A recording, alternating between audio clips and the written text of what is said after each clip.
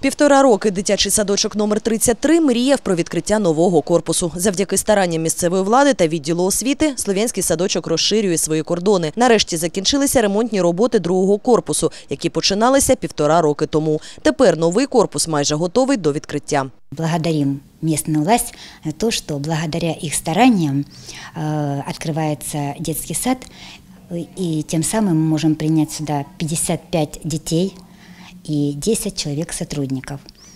В детском саду планируется открыть две группы э, дошкольные и одну группу раннего возраста.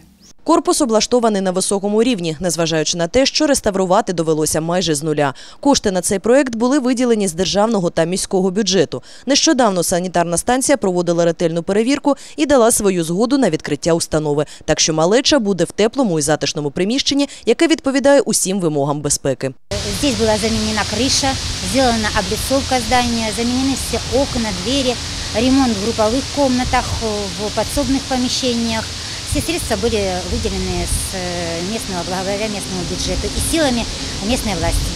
Весь працюючий колектив дитячого садка сподівається на швидке відкриття, відновлення роботи та досягнення нових височиней у справі виховання маленьких слов'янців. Открытие планируется м, приблизительно на, ну, до конца сентября. Я думаю, что мы должны открыть дошкольное учреждение.